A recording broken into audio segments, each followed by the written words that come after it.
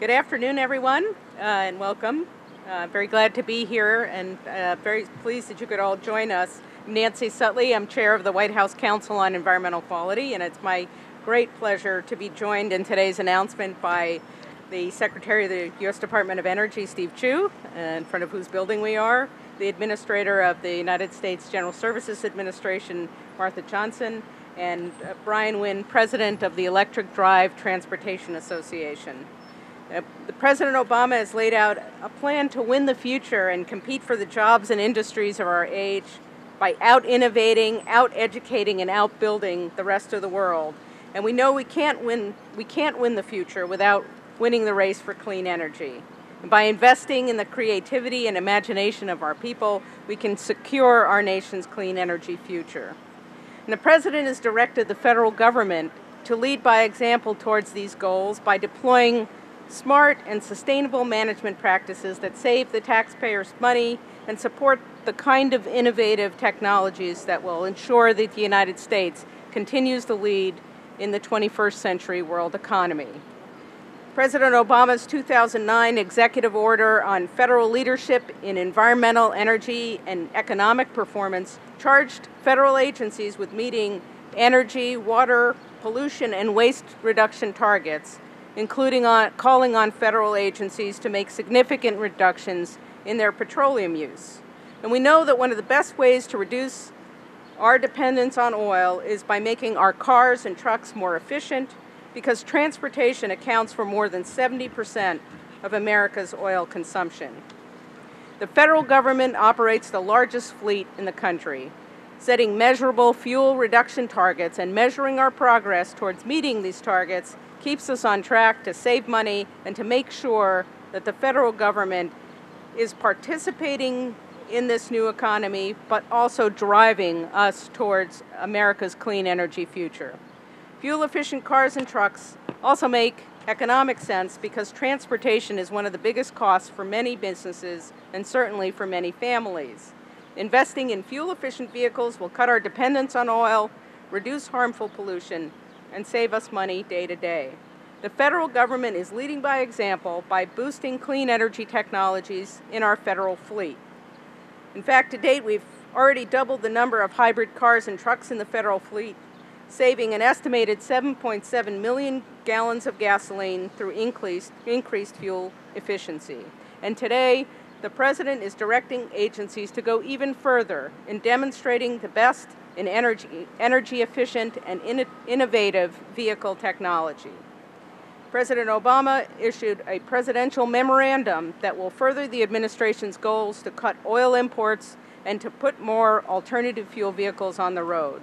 This memorandum directs new government-wide fleet management practices to ensure that we are achieving the President's goals for fuel efficiency and innovative technology.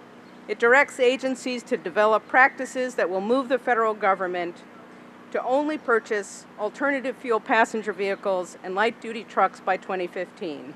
That is, 100% of new vehicle purchases by 2015 must be alternative fuel passenger vehicles and light-duty trucks.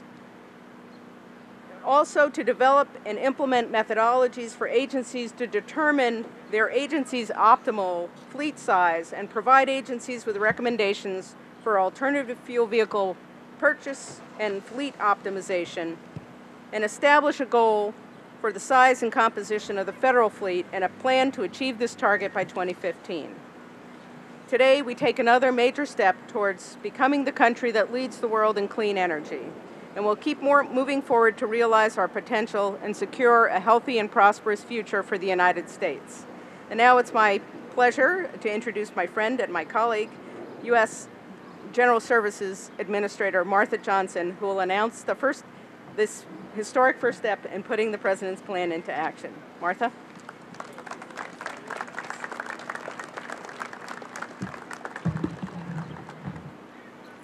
Thank you for that generous introduction. I'm honored to join Chair Sutley and Secretary Chu as we celebrate today's purchase of the government's first 116 electric vehicles. These cars will go to 20 agencies, including the Department of Energy and the Department of Defense, both of which are represented here today, in five cities across the country. I'm also delighted to be here because I began my career uh, working in a diesel engine uh, manufacturing plant, and I've been part of the automotive industry uh, at times across my career, and it is a terrific thing to see the development and evolution of that industry firsthand. It's exciting to be here to recognize the next chapter uh, in that industry story. At GSA, our mission is to provide an effective, sustainable, and transparent government for the American people. We support agencies so that they can support our great nation. As part of that mission, we design and maintain federal buildings across the country, and we help manage the acquisition of goods and services for the federal government, including the procurement of nearly 400,000 vehicles used by federal agencies. This puts us in a unique strategic position to help the government invest in advanced technology vehicles. Already, GSA has made serious progress in integrating more fuel efficient vehicles into the federal fleet. In the past year alone, we have doubled the number of hybrid vehicles across the government, re replacing old cars with new fuel efficient ones. These purchases have already led a 25% increase led to a 25% increase in the fuel efficiency of the fleet, saving taxpayers $9 million last year. The electric vehicle program we launched today is the next big step. It furthers the administration's goal of putting 1 million advanced vehicles on the road by 2015, and it represents a significant targeted investment in the next generation of, of automotive technology. Importantly, GSA is approaching this program in a strategic and coordinated way, leveraging our expertise across our enterprise in both real estate and acquisition to deliver the best value to agencies and to the taxpayer. On our acquisition side, we have issued three contracts for electric vehicle purchases, and GSA is purchasing 116 vehicles off those contracts to lease to the 20 agencies across government. These first vehicles are expected to save over 29,000 gallons of gas, reduce greenhouse gas emissions by 260 tons, and save taxpayers over $109,000 every period, single period, year period.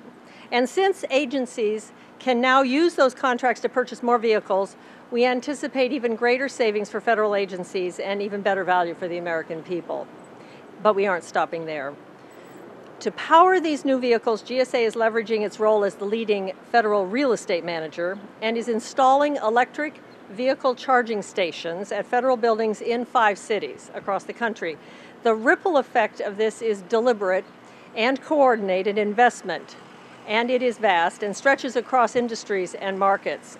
By laying the foundation for federal EV infrastructure, GSA is supporting both the electric vehicle industry as well as other associated industries such as advanced battery research and recycling. And this in turn supports American innovation. Two months ago, I was able to tour a facility in Lancaster, Ohio, where, thanks to the Department of Energy grant, a company called Toxco is developing one of the first electric vehicle battery recycling centers in the country. This company exemplifies the kind of leading edge thinking that we are eager to support, and today's investment does exactly that. It broadens the electric vehicle market, which in turn will increase the production of battery research and production. More batteries on the road will mean that more batteries will need to be recycled, and that translates into real business for firms like Toxco. Finally, and at an even broader level, our purchases will help build the technolo technological framework required to support electric vehicle integration across the country and throughout the economy. The federal purchase of these vehicles and the accompanying plug-in infrastructure is exciting and broadens our investment in advanced technology vehicles. It is certain to deliver value to federal agencies boost a vital new industry, spur competitive innovation, and bring solid savings to the taxpayer.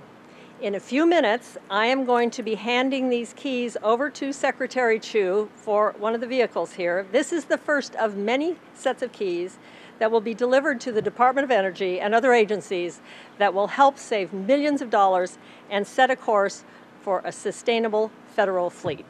Thank you very much, Nancy.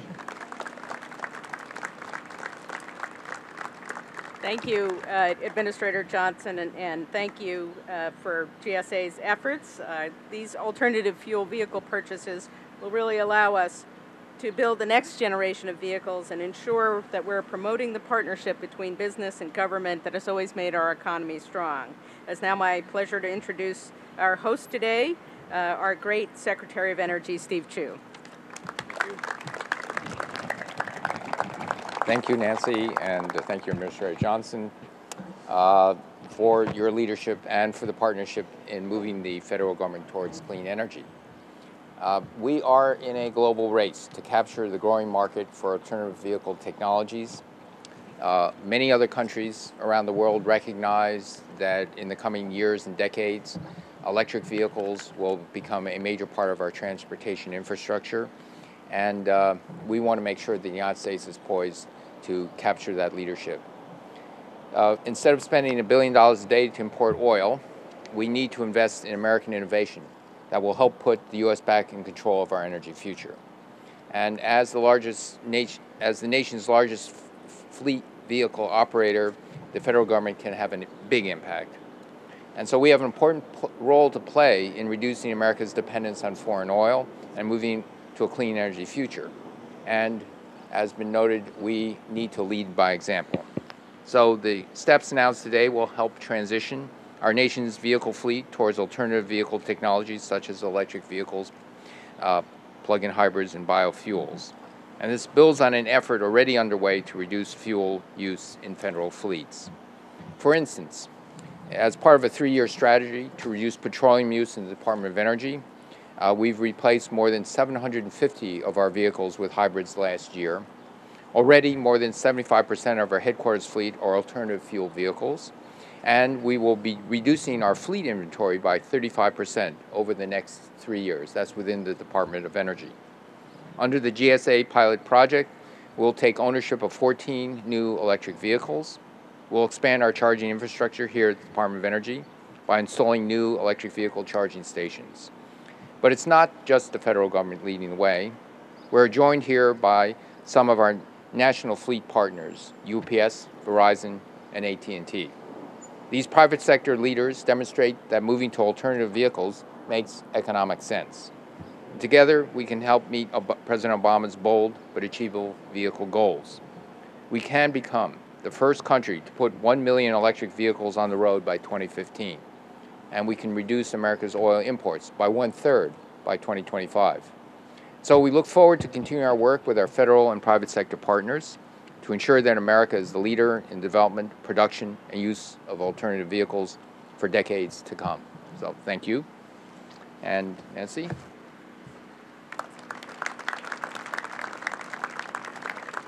Thank you, Secretary Chu, and uh, thank you for all the efforts uh, by the Department of Energy. The Clean Fleets Partnership that you mentioned is another great program that's uh, helping in our efforts to promote fuel efficiency standards and build a clean energy economy. And, and now I'm happy to introduce uh, one of our private sector partners and a great leader in this uh, race to clean energy for the nation, the president of the Electric Drive Transportation Association, Brian Wynn.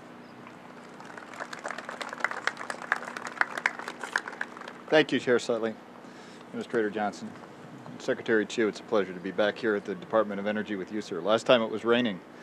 I'm glad the weather is, is a little bit better. I'm happy to be here at this event uh, demonstrating the exciting opportunities electric drive vehicles present to fleets and to the nation. The Electric Drive Transportation Association members are building the electric drive vehicles and infrastructure that will transform the fleet. And we're proud of the administration's bold vision for electric drive and the vital work being done across the government to realize it. GSA is not only purchasing more than 100 plug-in vehicles, it is establishing a framework for plug-in vehicles and infrastructure across the government. Their efforts are complemented by the Department of Energy, which is leading the federal research and development effort, advancing U.S. manufacturing, and deploying electric drive vehicles through the Clean Cities program. Electric drive vehicles, like those behind us, will help federal fleets reduce their oil consumption, which will save taxpayer dollars and reduce air emissions. Electrifying the fleet will also help to accelerate the private sector market by helping manufacturers reach economies of scale that will bring the cost down and move more plug-in vehicles and infrastructure into the market. The federal commitment to advanced vehicle purchases and to integrating plug-in vehicles and infrastructure into the federal fleet sends a critical signal to industry. It will reinforce the private investments that are being made and grow the advanced technology workforce, which will help the U.S. lead in the global marketplace for advanced electric drive vehicles and infrastructure.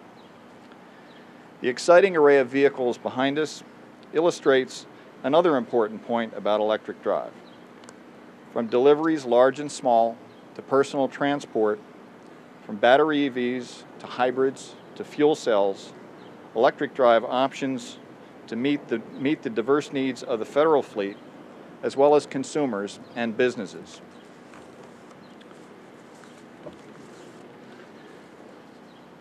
And while they are on their appointed rounds, these vehicles will also be helping to meet our critical national need for alternatives to oil and establishing our leadership in the energy technology marketplace. Thank you very much.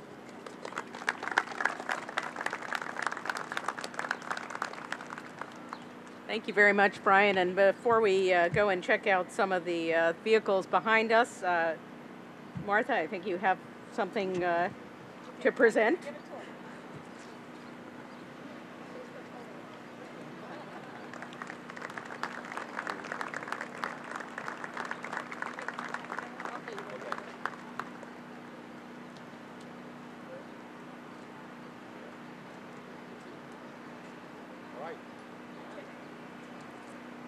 So uh, with that, we invite our, some of our uh, industry representatives uh, to come join us as we take a look at some of the vehicles behind us. Thank you.